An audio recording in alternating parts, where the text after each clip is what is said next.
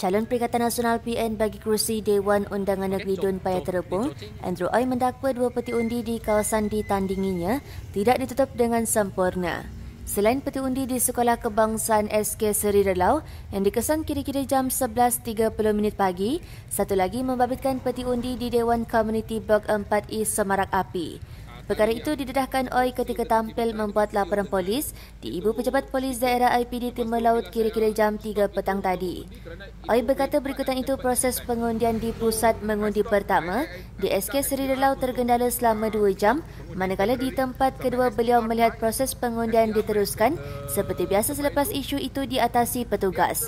Difahamkan SPR akan memberi kenyataan lanjut berhubung isu terbabit dalam tempoh terdekat satu saya telah membuat satu laporan polis mengenai ballot box yang uh, telah tidak dapat tidak ada seal dan tidak ada kabel rantai. So saya first saya membuat rondaan saya di SK Seri Relau pada jam lebih kurang uh, 11 setengah macam itu lebih kurang saya bila saya membuat rondangan dan inspection saya mendapati saluran 15 uh, itu saluran 15 di SK Seri Relau ballot box dia tidak ada seal dan tidak ada itu uh, tali yang itu seal dengan kabel tie dengan seal dengan itu stiker.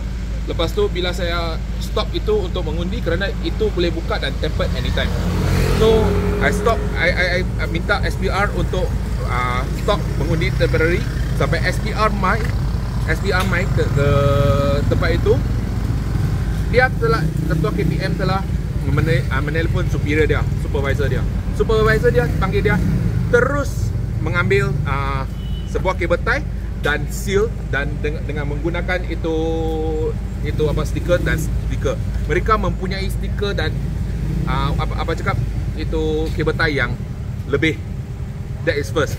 So after that saya telah membawa uh, wakil ejen saya untuk membuat undi. So since dia mengundi di tempat saya di, di community saya telah membuat satu rondangan juga di community block D uh, Block E, sorry.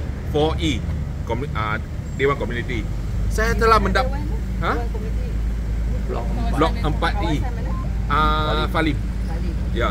So saya bila membuat rondangan dekat situ, rondaan dekat situ Saya juga mendapati sebuah uh, peti undi sama seperti yang terdahulu. So saya telah membuat dua laporan mengenai isu-isu ini. Today, our I have withdraw all my counting agent to from going to to to to, to the player because it's pointless.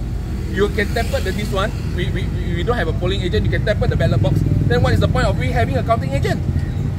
So please, I seek SPR to look into this matter seriously. This is not the matter of of small mini party, but we need to look into this very very serious. Right? Thank you.